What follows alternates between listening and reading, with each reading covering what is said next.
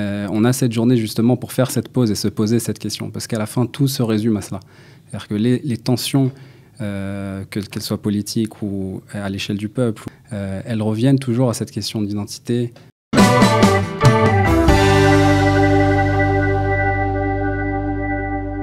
En ce jour de Tisha B'Av, nous allons parler de l'identité du peuple juif et en quoi ce sujet de l'identité est lié à cette euh, journée de Tisha B'Av. Pour en parler, nous sommes euh, ce matin avec euh, Ronnie Toledano, directeur de la Fondation Zera. Bonjour Ronnie. Bonjour Olivier. Merci d'être avec nous. On va parler donc de, cette, de ce sujet de l'identité du peuple juif, du sujet de Tisha B'Av. Mais avant d'en parler, quelques mots sur la Fondation Zera. alors bonjour, merci de m'accueillir. Euh, la fondation euh, Zera Israël est une fondation qui euh, œuvre depuis à peu près deux ans à l'échelle internationale, qui a été fondée par mon père, avec la participation active et, la direction spirituelle du Rav Salem, qu'on connaît bien, Salem, bien mhm. sûr, et qui œuvre globalement pour accueillir et pour tendre la main aux nidachim, c'est-à-dire à toutes les personnes qui sont un petit peu rejetées, euh, sous différentes manières, euh, qui essayent d'œuvrer contre euh, l'assimilation. Qui sont rejetés, c'est-à-dire qui, qui, essayent de rejoindre le peuple juif et qui ont du mal à le rejoindre. C'est ça. c'est donc une action qui est extérieure au peuple juif dans les quatre coins du monde, avec une action particulièrement centrée sur les Bnei Anoussim, donc les, les maranes, mhm. ou d'autres personnes qui, qui sont en, recherche ou en besoin de conversion.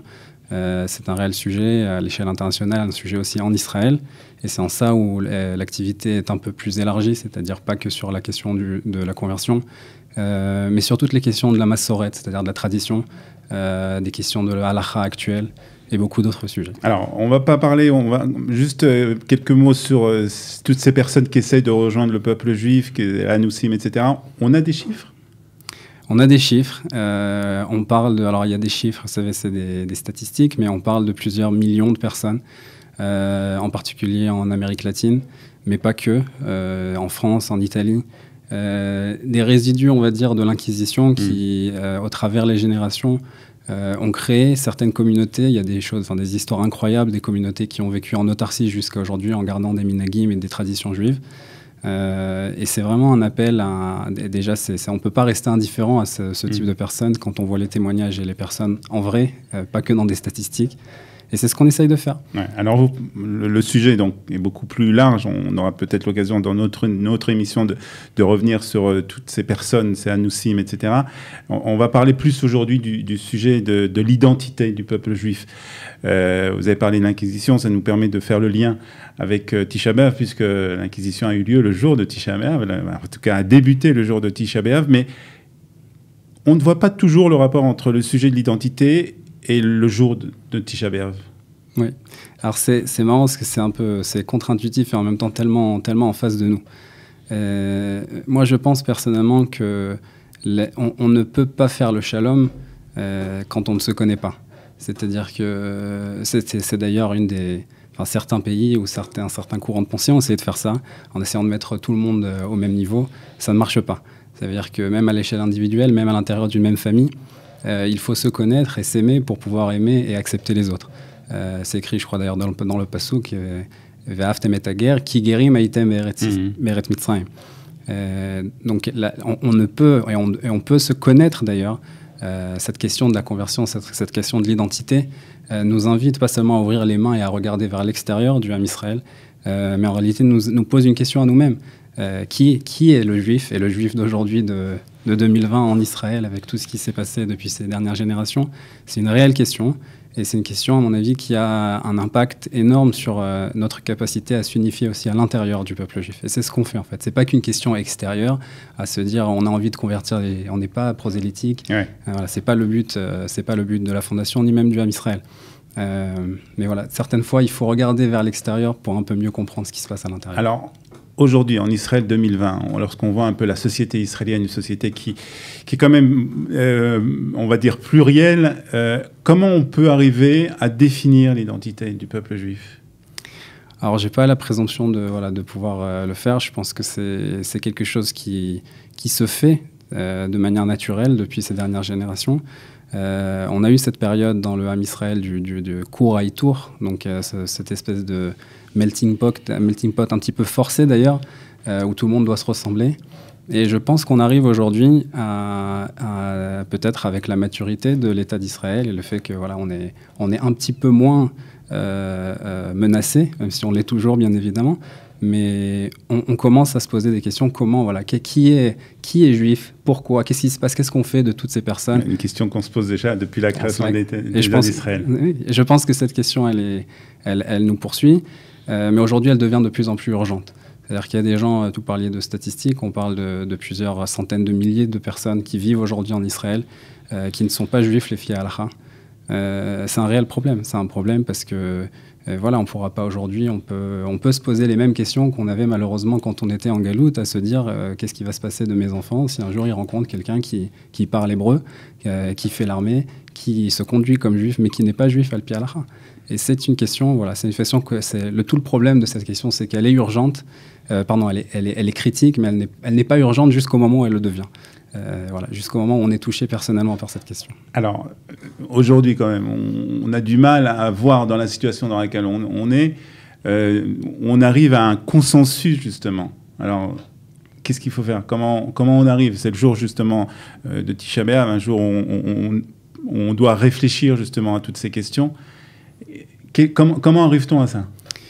Je pense que euh, la question de Tisha c'est vraiment cette question de date ou Médina, c'est-à-dire de politique contre le religieux. Et je pense que le, Ham Israël n'a pas le choix de faire cette union et d'unifier ces, deux, valeurs. On n'a pas le luxe euh, de faire ce que font euh, la France, de créer un État laïque, ou alors d'être complètement un État islamique, c'est-à-dire qui force les gens à une, un État religieux complètement. On doit trouver, j'aime pas le mot juste milieu, on doit trouver l'osmose, c'est-à-dire qu'on est les deux l'identité juive, elle ne peut se euh, défaire euh, de la Torah, de la tradition des mitzvot, mais aussi de, la, de, sa qualité de famille d'Israël, de peuple juif. Et c'est ce qu'on est en train de faire. Et d'accepter toutes les parties du peuple juif. On, est, on, en est obligé. Moi, je, pense, j'ai un certain message par rapport à ça. Enfin, en tant que Français, quelque chose qui, me tient à cœur.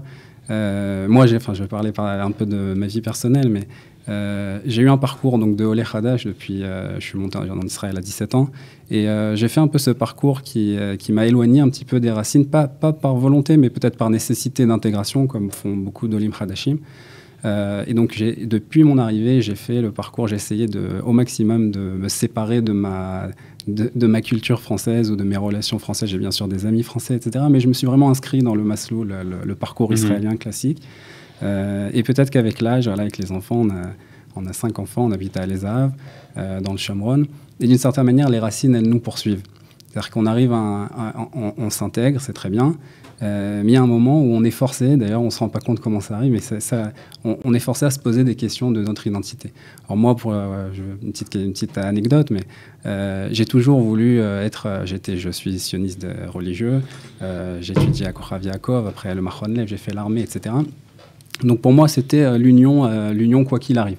Euh, en particulier avec la, les, les Ashkénazes, les Tfilotes. bon, pas c'est une question pour les. Vous avez essayé d'être israélien plus qu'israélien. Exactement, c'est ça.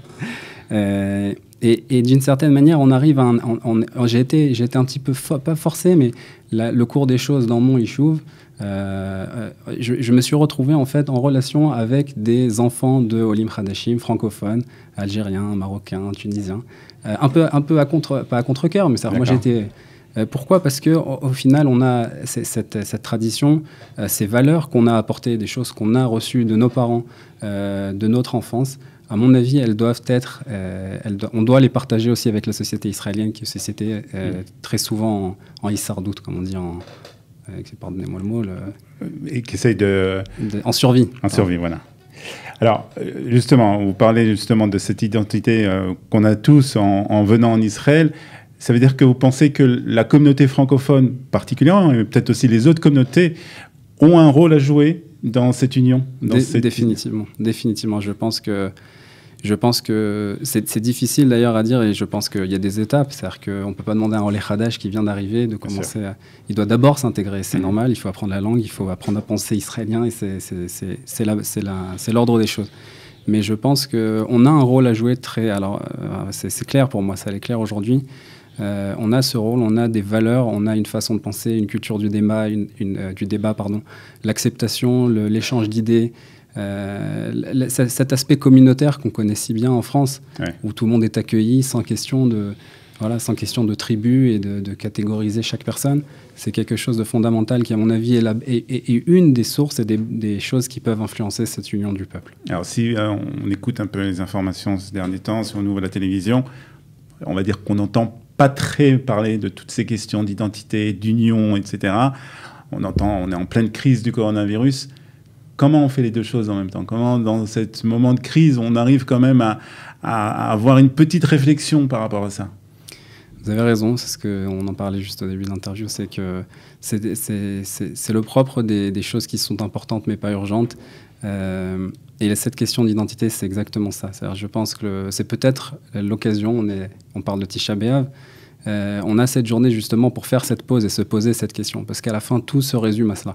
C'est-à-dire que les, tensions, euh, qu'elles soient politiques ou à l'échelle du peuple, ou envers notre famille, envers nous-mêmes à Philou, euh, elles reviennent toujours à cette question d'identité, de comprendre d'où on vient, de comprendre d'où on va.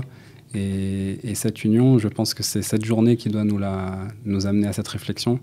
Euh, voilà, c'est une occasion. On n'a pas peut-être tous les jours le moment d'en parler, mais c'est le jour. Alors pour, pour, terminer, pour être un peu, comme on dit en hébreu, tachres, pour être pratique, qu'est-ce qu'on peut faire? On, on, est en pleine journée de Tisha B'Av, demain on a envie d'agir, comment on peut le faire?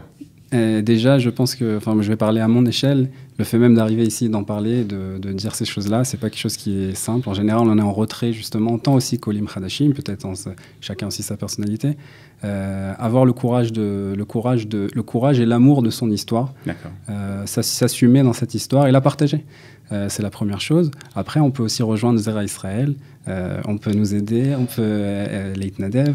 Euh, on a besoin de beaucoup, beaucoup de mains et de personnes qui soient dans le digital. Mhm. Euh, voilà, donc euh, vous pouvez aller voir le, sur le site ou me parler directement avec grand plaisir. Très bien, donc beau travail en tout cas hein, à faire et c'est le moment justement de peut-être prendre une décision hein, ce jour de, de Tisha un jour de réflexion, de penser justement à tous ces sujets d'identité, sujets d'unité du peuple juif et sujet de shalom aussi entre nous.